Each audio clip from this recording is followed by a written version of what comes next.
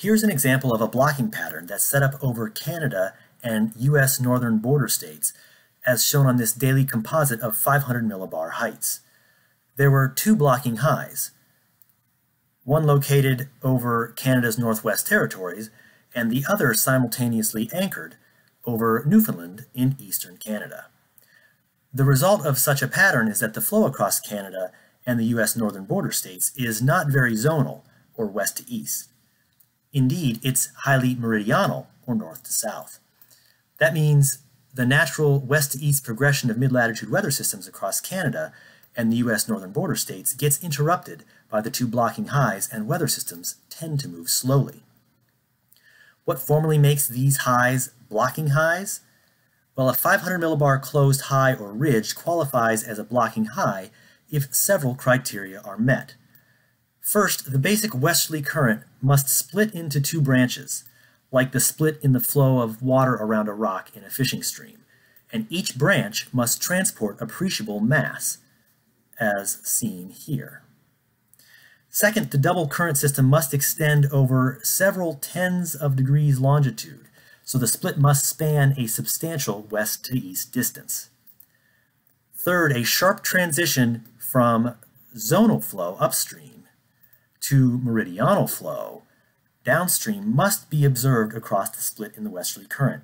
And finally, the pattern must persist with recognizable continuity for at least five days, although some stricter criteria would require 10 days.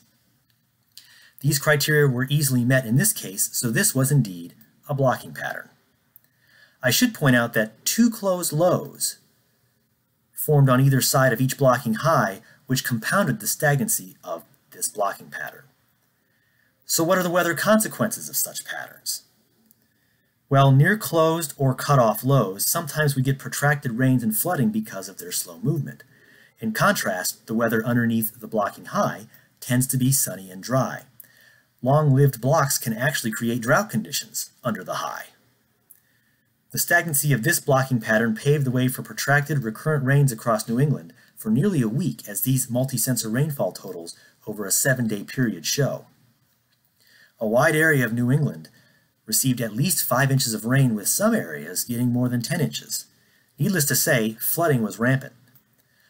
The flooding rains in this stagnant pattern were aided by a tropical connection, as suggested by this visible satellite image, indicating a long plume of clouds extending from low latitudes all the way up to, into New England. The sprawling closed low over the Great Lakes region had helped draw moist Atlantic air northward in concert with a low-level jet stream, which we can see on this daily composite of 850 millibar vector winds. The end result was plenty of moisture convergence in New England, feeding the heavy rain.